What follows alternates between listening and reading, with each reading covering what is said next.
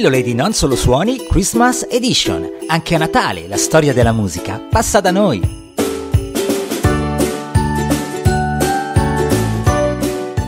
Ben ritrovati anche oggi per parlare, anzi ascoltare il Natale in musica e le festività in genere. Oggi lo faremo con una rock band, dunque non siamo proprio nell'ambito dei classici brani da crooners.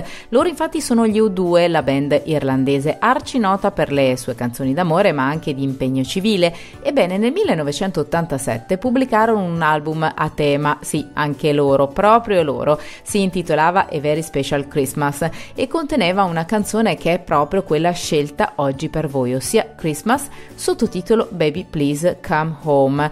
Inizia con il vocale del leader del gruppo di Dublino, Bono Vox, poi la musica a ritmo di rock, una sorta di eh, rock davvero di ballad all'insegna del tema natalizio, tra i più ricorrenti peraltro, ossia non tanto il bianco Natale o Santa Claus con le sue renne, bensì il ritorno di una persona cara, amata proprio durante le festività.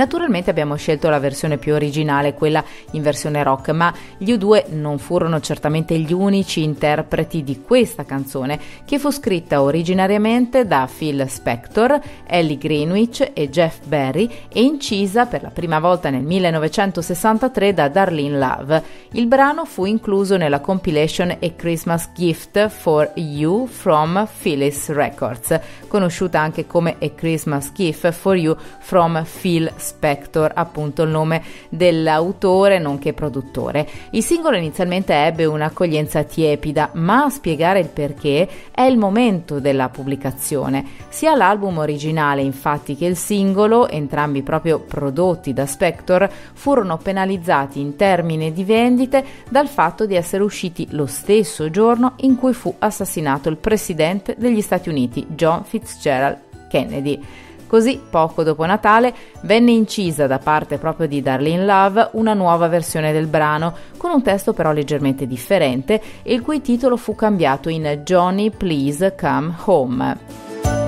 Col passare del tempo invece, e come dimostra il successo di Bono e compagni, il singolo è diventato un classico natalizio ed è stato inciso o eseguito o entrambi da numerosi altri interpreti, tra loro ad esempio nomi come quelli di Bruce Springsteen oppure di Michael Bublé o ancora di Cher, di Rose O'Donnell, Mariah Carey e questo solo per fare qualche esempio.